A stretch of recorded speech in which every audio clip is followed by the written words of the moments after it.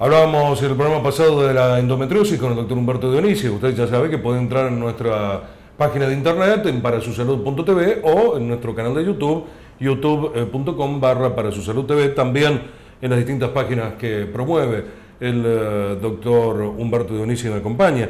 Y dentro de esto de la endometriosis, es, es sacar la endometriosis, Humberto, para tener un hijo y después vuelve, porque en algún momento charlamos de que suele recidivar, suele volver la endometriosis, ¿verdad? Muy buena pregunta, Ricardo. Este, vos sabés que la endometriosis, a pesar de ser una enfermedad benigna, y aunque lo operemos en forma completa, tiene una probabilidad de recidiva, porque es una enfermedad crónica. O sea, nosotros nunca podemos hablar de curación eh, anatomopatológica. ¿Qué significa eso? No podemos hablar de que la paciente se va a curar y nunca más va a tener ni un foco de endometriosis.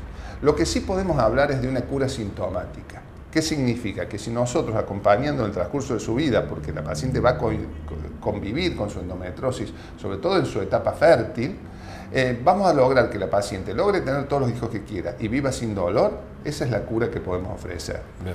Dos cosas, ya lo dijimos en el programa pasado, que tenemos dos formas de tratarla, ya sea desde la forma médica, con tratamientos bloqueadores de la acción hormonal, para que la endometriosis se aquiete, digamos, y no produzca dolor o permita el embarazo. A su vez también para el embarazo puede estar la fertilización asistida como una opción. Y la segunda, que es la quirúrgica, que es la que vos me preguntabas.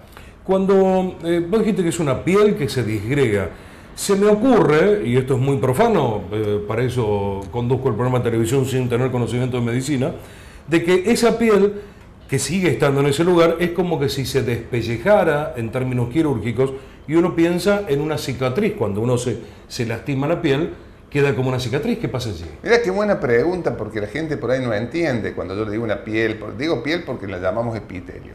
El endometrio tiene dos capas. Tiene una capa basal y una capa funcional. La mujer en el ciclo hormonal establece dos etapas. Una primera etapa de crecimiento estrogénico del endometrio, donde el endometrio empieza a reproducirse solo a partir de la capa basal, empieza a crecer. Y una segunda capa eh, gestacional donde se vuelve secretor. Todo este, todo este movimiento que presenta esta piel interna del útero, lo único que busca es preparar el, el lugar donde va a sentar el huevo. Después de eso, ya no tiene más función, entonces el cese hormonal descama la capa funcional, preservando la basal. Si no se preservara la basal, pasaría lo que vos me decís, se cicatrizaría y no andaría más, serviría para una menstruación. Sin embargo, es tan sabia la naturaleza que permite la recuperación siempre a partir de la capa funcional. Bien, y, esta enfermedad entonces es que en vez de largarlo, lo, lo deja ahí. Por eso es que es tan difícil curarla porque siempre van a haber focos que aunque nosotros los tratemos médicamente, no los podemos atrofiar del todo, porque siempre va a haber células que mantienen su potencialidad y vuelven a crecer. Ha sido realmente muy claro, ahora lo he aprendido de pe a pa y seguro que alguna duda el próximo programa te lo pasa. Alguna duda vamos a tener. El doctor Humberto Dionisi en el CEDEM, aquí en la avenida Belezarfe 576, en su sexto piso.